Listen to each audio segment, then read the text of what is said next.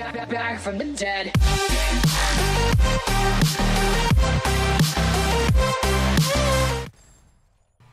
Hello, so a lot of people have been asking me how I'm prestiging so quickly, because right now I'm prestige 7, and you can see here in this footage that I recorded literally 5 days ago that I was prestige 5 at the time.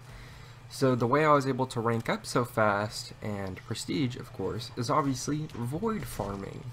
It's completely mind-numbing, and I've spent more than 10 hours a day doing it, but I mean hey, if you do that you can prestige like once every day or two, so it's pretty great. Um, all you're really going to need is a long range weapon. So if you're a low rank, you want to use just like the Steyr M until you reach rank 14. If you have the Boo Buster, go ahead and use that. Uh, if you have the the Yeti Hammer, go ahead and do that. But what I find best until I'm rank 14 is to use the Ice Knuckles, Sleigh, and Steyr M. So I'm just going to go around and kill everything with the Steyr M until I hit rank 14, and then I buy the Dragunov. So the Dragunov only costs 9,000 cash, roughly, and it's a very good weapon. It shoots quickly and it does a lot of damage. Uh, you're going to want to bring hard bullets to help you kill elementals, but it's not that big of a deal. And then you can use the sleigh to escape the zombies and get far away. But the most useful thing here is going to be having a party that is all high prestige and can help you gain experience very quickly. So the maximum party bonus you can have at any point in time is actually 250% experience. You can't go above that, but if you can hit it, then you're going to be doing pretty dang well, because it's going to be better than having two double experience things going on at once. So imagine doing that on Friday as well, because it stacks with the double experience Friday. It's a really good way to get a lot of experience very quickly. But if you're a low rank or a low prestige, you're not going to be able to get into the high prestige parties.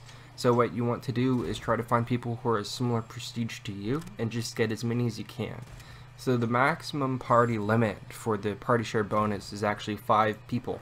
So what you can do is if you're a Prestige 1, is go and get a full party for Prestige 5s. Because then, what the total party share bonus will be is actually 100%. So you're going to get double the amount of gold and experience from every kill that you would otherwise.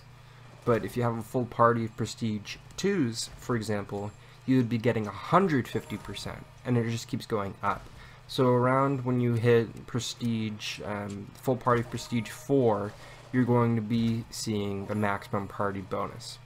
Um, you want to bring some def defibs with you as well, so that way you can keep each other alive and use lots of acorns.